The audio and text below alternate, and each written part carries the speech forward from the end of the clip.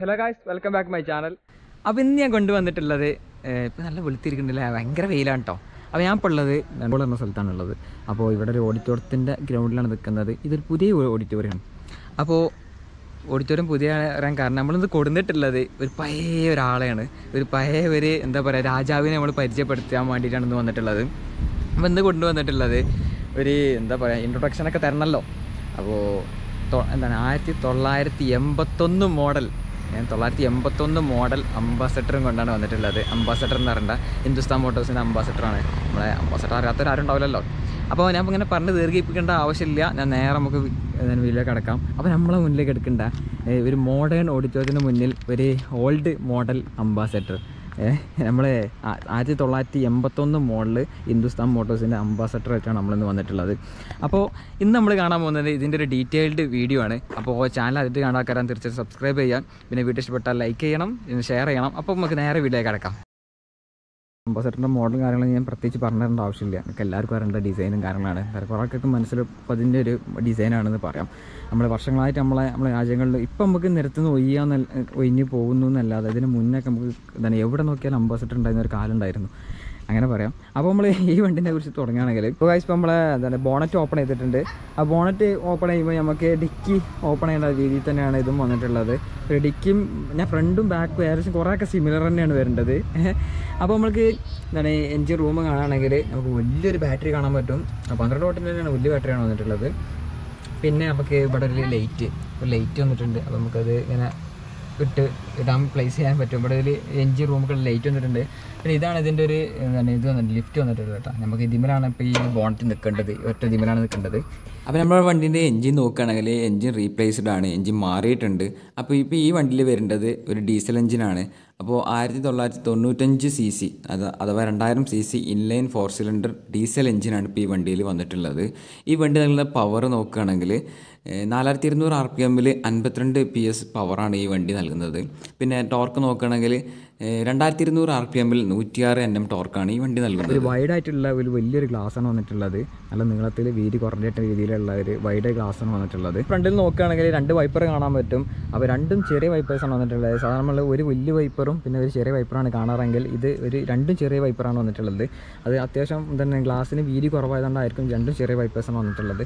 പിന്നെ നമ്മൾ ഈ സൈഡിലാണ് നമുക്ക് എന്താണ് ബോണറ്റിന്റെ ഹുക്ക് വരേണ്ടത് ബോണറ്റിന്റെ ആ ഹുക്ക് ഈ രണ്ട് സൈഡിൽ സ്റ്റീലിന്റെ ഒരു ക്രോ ഒരു ക്രോമിയം ഫിനിഷിങ്ങിലാണ് നമ്മളെ അതിന്റെ ബോണറ്റിന്റെ ഉപ്പും കാര്യങ്ങളും വന്നിട്ടുള്ളത്. അതിന്റെ ഒരു ഡിസൈൻ കണ്ടില്ല. ഒരു അട്രാക്റ്റീവ് രീതിയിലാണ് ഇതിന്റെ ഡിസൈൻ വന്നിട്ടുള്ളത്.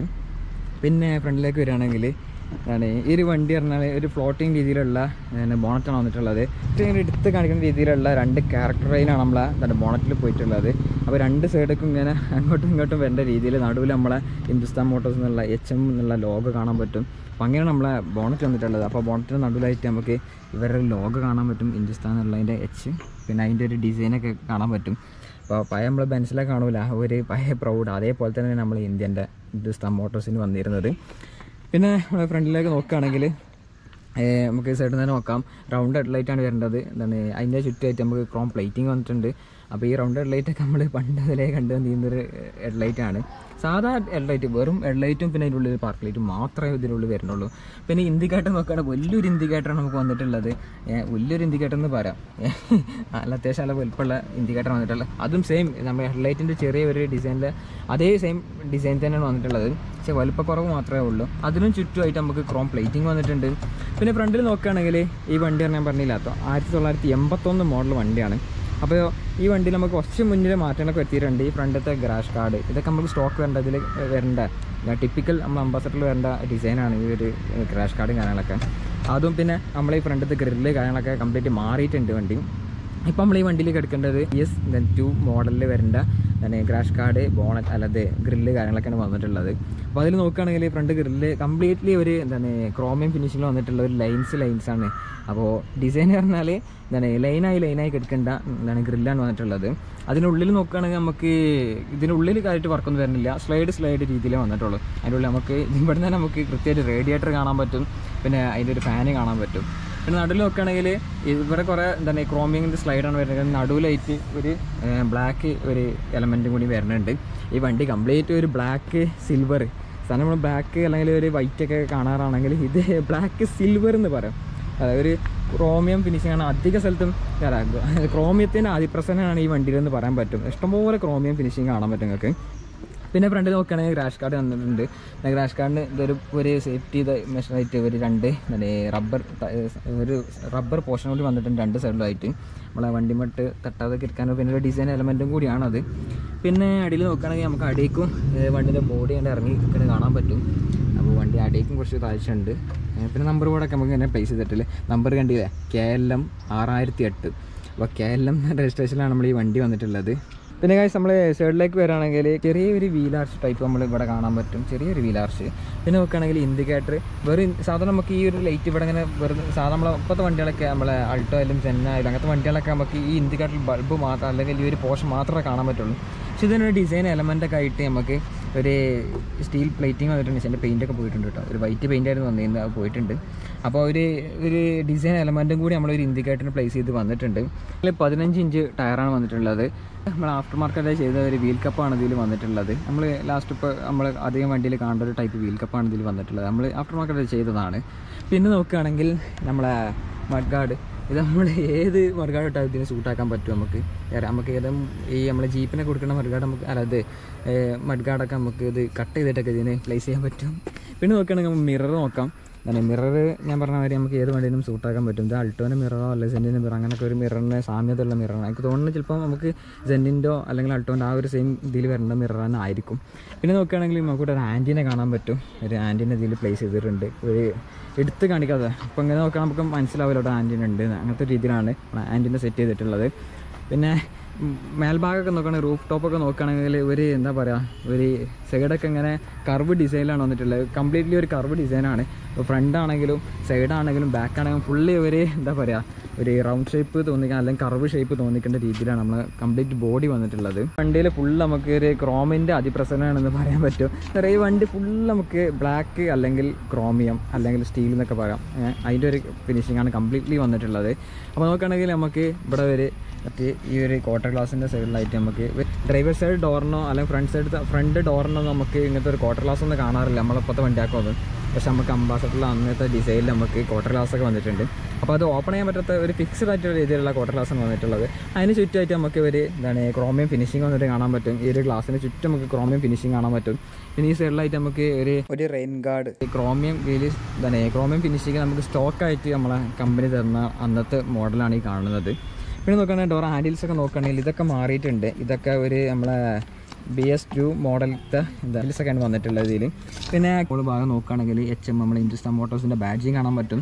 അപ്പോൾ അതൊരു ഡിസൈൻ എലമെന്റ് ആണ്. ഇത് നമ്മൾ നമ്മൾ ആഫ്റ്റർ മാർക്കറ്റ് ചെയ്ത ഒരു ചെറിയൊരു റിഫ്ലക്ടറാണ് കാണുന്നത്. ഫ്രണ്ടിലേക്ക് നോക്കുകയാണെങ്കിൽ ചില ആൾക്കാരൊക്കെ നമുക്ക് ഈ ഒരു ഫോർ സ്റ്റെപ്പൊക്കെ നമുക്ക് ആഫ്റ്റർ മാർക്കറ്റ് ചെയ്യാറുണ്ട്. പക്ഷേ ഇതിലൊന്നും കാണാറില്ല. പക്ഷേ ഇതിൽ സ്റ്റോക്കാണ് വന്നിട്ടുള്ളത്.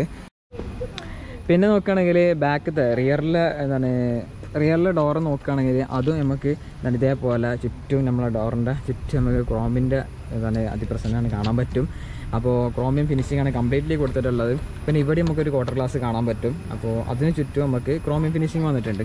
അപ്പോൾ ബാക്കിലത്തെ ഡോർ ഹാൻഡിലും സെയിം തന്നെയാണ് വന്നിട്ടുള്ളത്. ബാക്കിലെ ടയർ നോക്കുകയാണെങ്കിൽ നമുക്ക് പതിനഞ്ച് ഇഞ്ച് ടയർ തന്നെയാണ് വന്നിട്ടുള്ളത്. ഫ്രണ്ടിൽ കണ്ട സെയിം എന്താണ് വീൽ കപ്പാണ് വന്നിട്ടുള്ളത്. അല്ലെ വീലും തോന്നിക്കുന്ന രീതിയിലുള്ള ഒരു ടൈപ്പ് വീൽ കപ്പാണ് നമ്മളിപ്പോഴത്തെ ഈ ഒരു ഡിസൈൻ എന്ന് പറഞ്ഞാൽ. ബാക്കിലോട്ട് നോക്കുകയാണെങ്കിൽ ഒരു സ്കൂപ്പ് ടൈപ്പ് എന്ന് പറയാൻ പറ്റുമോ എന്നറിയില്ല പക്ഷെ എന്നാലും നമുക്ക് ഒരു കറവായിട്ട് വന്നിട്ട് സ്കൂപ്പിംഗ് രീതിയിലുള്ള ഫുള്ള് നമുക്ക് കണ്ടില്ല? പൊട്ടിങ് രീതിയിലാണ് നമ്മളെ വണ്ടീന്റെ ബോഡി കംപ്ലീറ്റ്ലി വന്നിട്ടുള്ളത്. അപ്പോൾ സൈഡിലെ പോർഷൻ നോക്കുകയാണെങ്കിൽ ഒരു ഇവിടെ നമുക്ക് ഇത് വന്നിട്ടുള്ളത് ഡീസൽ ടാങ്ക് ഫ്യൂൾ ടാങ്ക് വന്നിട്ടുള്ളത്. അപ്പോൾ അതിന്റെ ഒരു ഓപ്പണിംഗ് ഏരിയ ഇവിടെയാണ് വന്നിട്ടുള്ളത്. നമ്മൾ ഫ്രണ്ടിൽ എന്താണ് ബോണറ്റിൽ കണ്ട സെയിം സാധനം തന്നെ. ആ ഒരു എലമെന്റ് എന്താണ് നമുക്ക് ഈ ബാക്കത്തെ ബൂട്ട് ഓപ്പൺ ചെയ്യാനുള്ള ഒരു എലമെന്റാണ് ഇവിടെ വന്നിട്ടുള്ളത്. അതും ഒരു ക്രോമിയം ഫിനിഷിങ്ങിലാണ് വന്നിട്ടുള്ളത്.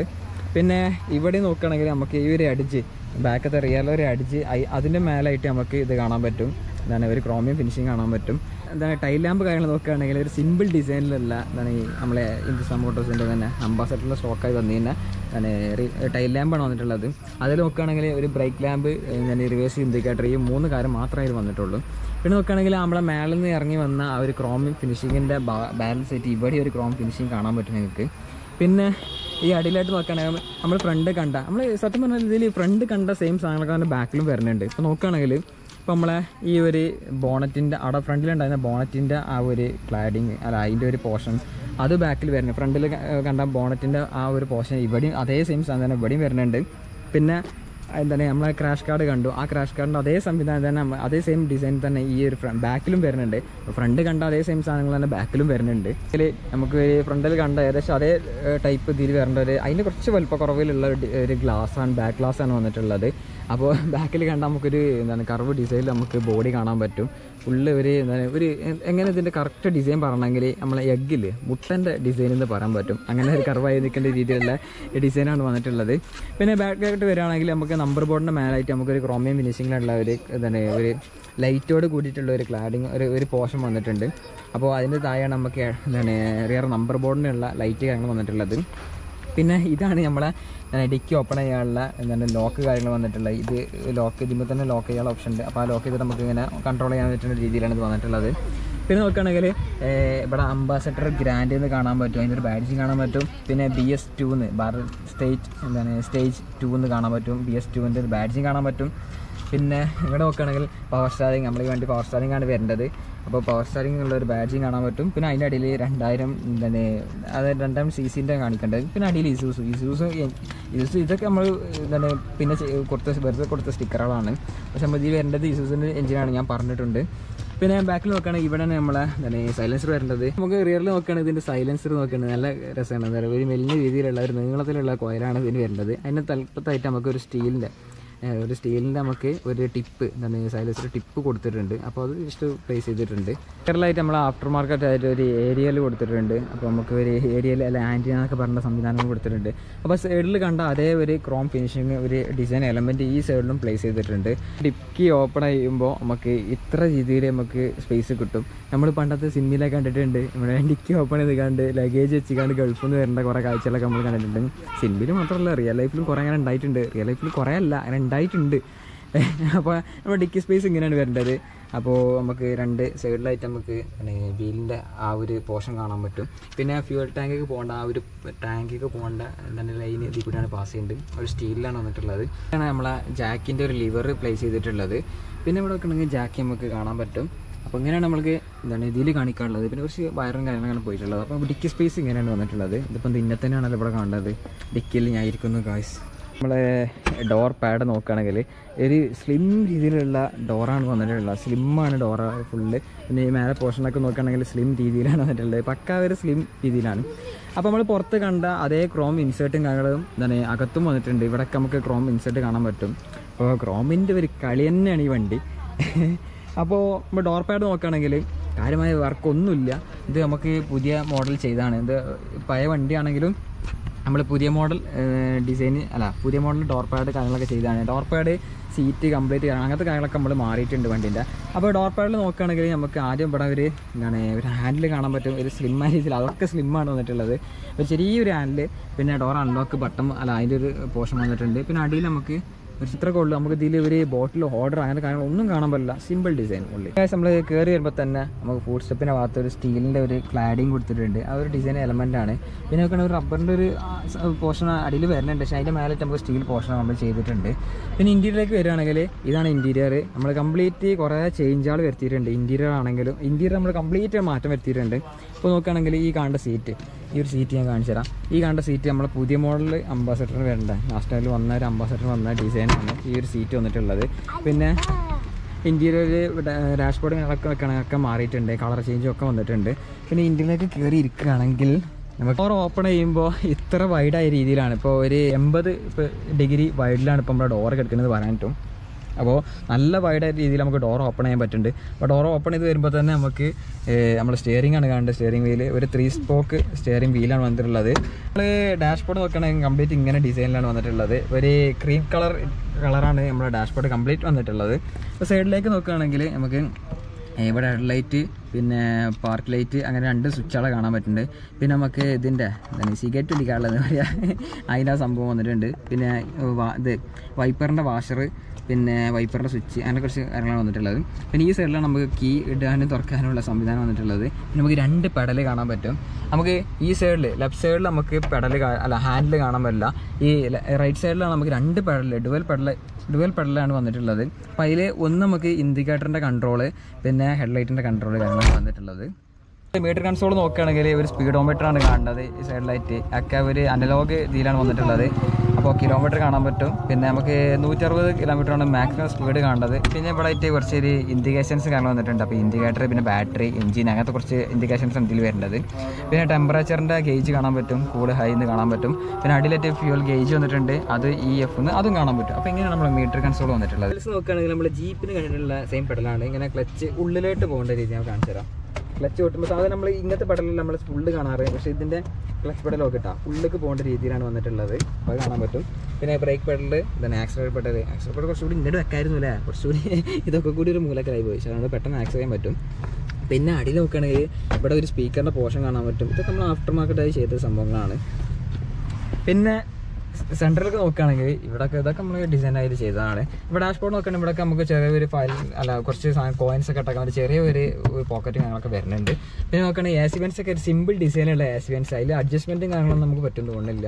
ജസ്റ്റ് ഇങ്ങനെ അങ്ങോട്ടും ഇങ്ങോട്ടും നമ്മൾ കൈയിട്ട് നീക്കേണ്ടി വരും. അല്ലാതെ അഡ്ജസ്റ്റ്മെന്റും കാര്യങ്ങളൊന്നും കാണില്ല അല്ലെങ്കിൽ പോയതാണെന്ന് അറിയില്ല. ഈ സൈഡിൽ നോക്കുകയാണെങ്കിൽ നമുക്ക് ഒരു ഒരു ചെറിയൊരു പോർഷൻ കാണാൻ പറ്റും. നമുക്ക് ഇവിടെ എന്തെങ്കിലും ക്ലോക്കോ അങ്ങനെ എന്തെങ്കിലുമൊക്കെ പ്ലേസ് ചെയ്യാൻ പറ്റും. പിന്നെ ഈ സൈഡിൽ നോക്കുകയാണെങ്കിൽ നമുക്ക് എ സിന്റെ കൺട്രോൾ കാണാൻ പറ്റും. അപ്പോൾ ഇതിലിപ്പോൾ നമുക്ക് എന്തൊക്കെ ചെയ്തതെന്ന് വെച്ചാൽ ഇന്റീരിയർ കംപ്ലീറ്റ് മാറ്റി. എൻജിൻ മാറി. അപ്പോൾ വണ്ടി മൊത്തമായിട്ട് മാറിയിരിക്കണേ. എൻജിൻ മാറി. പിന്നെ നമ്മളെ ഇതിൽ ആഫ്റ്റർ മാർക്കറ്റ് ആയിട്ട് നമുക്ക് പവർ വിൻഡോ പിന്നെ സെൻട്രൽ ലോക്ക് പിന്നെ പിന്നെന്താ? എ സി മെയിൻ കാര്യങ്ങളൊക്കെ പുതുതായിട്ട് ഇതിൽ ആഡ് ചെയ്താണ് അപ്പോൾ സെൻട്രൽ നോക്കുകയാണെങ്കിൽ നമുക്കൊരു മ്യൂസിക് സിസ്റ്റം മ്യൂസിക് സിസ്റ്റം നമ്മൾ എന്താണ് ആഫ്റ്റർ മാർക്കറ്റായി ചെയ്ത ഒരു ഇതാണ്. മ്യൂസിക് സിസ്റ്റമാണ് വന്നിട്ടുള്ളത്. പിന്നെ ഇവിടെയാണ് നമ്മളെ പവർ വിൻഡോന്റെ കൺട്രോൾ വന്നിട്ടുള്ളത്. അപ്പോൾ ഇങ്ങനെയാണ് ബട്ടൺ വന്നിട്ടുള്ളത്. അപ്പൊ ഈ സൈഡിലേക്ക് നോക്കുകയാണെങ്കിൽ നമുക്ക് ഒരു ഗ്ലോ ബോക്സ് കാണാൻ പറ്റും. ഗ്ലോ ബോക്സ് സാധാരണ നമ്മൾ ഈ ഒരു സൈഡിൽ കാണുന്ന വലിയ ഗ്ലോ ബോക്സ് അല്ല കാണുന്നത് ഇത് അതിലും വലുതാണെന്ന് പറയാം. കാണിച്ചാ അപ്പോൾ ഇത്ര വലുപ്പമുള്ളൂ. ഗ്ലോ അതിന്റെ ഉള്ളിൽ കുറച്ച് നീളമുണ്ട് കേട്ടോ അതിന് കുറച്ച് ഉള്ളിൽ കുറച്ച് നീളമുണ്ട്. അപ്പോൾ ഇത്ര ചെറിയ രീതിയിലാണ് നമ്മൾ ഗ്ലോ ബോക്സ് വന്നിട്ടുള്ളത്. അപ്പോൾ അതിന്റെ അടിയിലായിട്ട് ഒരു ക്രീം കളറിന്റെ അടിയിലായിട്ട് ഒരു എന്താണ് ഗ്രേ കളർ ഒരു ഫിനിഷിംഗ് കൂടി അടിയിൽ വന്നിട്ടുണ്ട്. പിന്നെ ഗിയർ നോക്കുകയാണെങ്കിൽ first second third fourth fifth reverse പിന്നെ നമ്മൾ ഹാൻഡ് ബ്രേക്ക് ഇവിടെയാണ് വന്നിട്ടുള്ളത്. ഹാൻഡ് ബ്രേക്കിന്റെ പ്ലേസിംഗ് ആണ് വന്നിട്ടുള്ളത്. പിന്നെ ഇവിടെ കുറച്ച് സ്റ്റോറേജ് സ്പേസ് കാര്യങ്ങൾ വന്നിട്ടുണ്ട്. അപ്പോൾ ഇങ്ങനെയാണ് നമ്മൾ ഫ്രണ്ട് ഡ്രൈവിംഗ് സീറ്റ് കാര്യങ്ങൾ കാണിക്കാനുള്ളത്. റിയർ സൈഡിലേക്ക് വരികയാണെങ്കിൽ ഫ്രണ്ട് കണ്ടിന്യൂയായിട്ട് കുറച്ചുകൂടി മാറ്റങ്ങളും കാര്യങ്ങളും ഉണ്ട്. ബാക്കിലത്തെ ഡോർ പാഡ് നോക്കുകയാണെങ്കിൽ ഡോർ പാഡ് നോക്കുകയാണെങ്കിൽ നമുക്ക് സെയിം ഫ്രണ്ടിൽ കണ്ട അതേ ഒരു എന്താണ് സ്റ്റാൻഡേർഡ് ടൈപ്പിലുള്ള ഒരു ഡോർ പാഡാണ് അതിന് ചെയ്തിട്ടുള്ള ഡിസൈൻ വർക്കൊക്കെ വന്നിട്ടുള്ളത്. ഇപ്പോൾ നോക്കുകയാണെങ്കിൽ ഡോർ ഹാൻഡിൽ ഫ്രണ്ടിലത്തേക്കാട്ടി കുറച്ചുകൂടി മാറ്റമുണ്ട് ഇത് കുറച്ചുകൂടി മാറ്റം വന്നിട്ടുണ്ട്. അപ്പോൾ ഫ്രണ്ടിൽ ഡോർ അല്ല ഡോർ ഹാൻഡിൽ ചെറുതായിരുന്നു. ഈ ശരി നമുക്ക് കുറച്ച് വലുതാണ്. ജിമ്മ് കൊടുത്തിട്ടുള്ളത്. നമ്മൾ ആഫ്റ്റർ മാർക്കറ്റ് ചെയ്ത കാര്യങ്ങളാണ് കേട്ടോ. ഇത് നോക്കിയാൽ നമുക്ക് പവർ വിൻഡോന്റെ കൺട്രോൾ കാണാൻ പറ്റും. ഇതൊക്കെ ആഫ്റ്റർ മാർക്കറ്റ് സംഭവങ്ങളാണ്. പിന്നെ ഇവിടെ മേലായിട്ട് നമുക്ക് ഡോർ അൺലോക്ക് ബട്ടൺ കാണാൻ പറ്റും. അപ്പോൾ അതും ചെയ്തിട്ടുണ്ട്. പിന്നെ ഫ്രണ്ടിൽ കണ്ട അതേപോലെ തന്നെ ഒരു സ്റ്റീൽ ക്ലാഡിങ് നമുക്ക് ബാക്കിലും കാണാൻ പറ്റും. അപ്പോൾ അതും നമ്മൾ ആഫ്റ്റർ മാർക്കറ്റ് ചെയ്ത കാര്യങ്ങളാണ്. റിയറിലേക്ക് നോക്കുകയാണെങ്കിൽ നമുക്ക് എന്താണ് ഇതിൽ അംബാസഡറിന്റെ കമ്പനി സീറ്റാണ് പക്ഷെ നമ്മൾ ഈ ഒരു മോഡലിലെ സീറ്റല്ല വന്നിട്ടുള്ളൂ എന്നുള്ളൂ. ഒരു പുതിയ മോഡൽ അംബാസഡറിന്റെ സീറ്റാണ് വന്നിട്ടുള്ളത്. അതാണ് നല്ല കുഷനിങ് നല്ല കംഫർട്ടുള്ള സീറ്റാണ് ഞാൻ ഇങ്ങോട്ട് വരുമ്പോൾ കുറേ ഇരുന്ന് നല്ല സുഖിച്ചതാണ്. അപ്പോൾ ഇതിന്റെ സീറ്റൊക്കെ നല്ല കംഫർട്ടുള്ള അത്യാവശ്യം നല്ല അത്യാവശ്യം നല്ല നല്ല കംഫർട്ട് തന്നെയാണ് ഈ സീറ്റ് വന്നിട്ടുള്ളത്.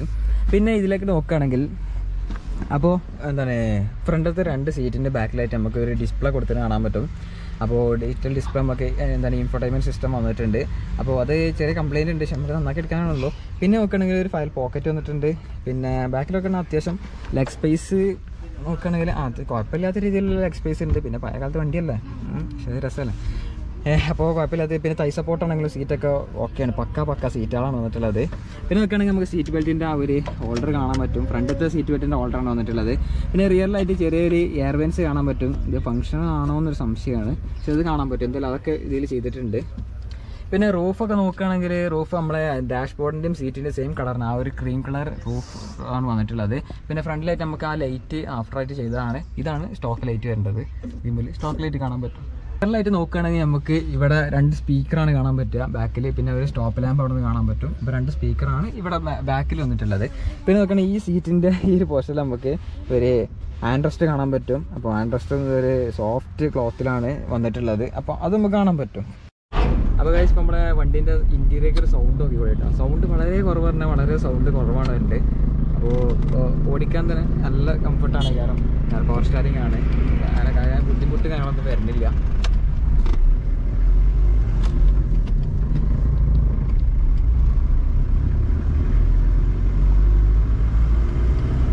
അപ്പോൾ സൗണ്ട് കേൾക്കാൻ പറ്റും. ഇന്റീരിയർക്ക് എത്ര സൗണ്ടേ ഉള്ളൂ. വളരെ കുറവാണെന്ന് പറയാം.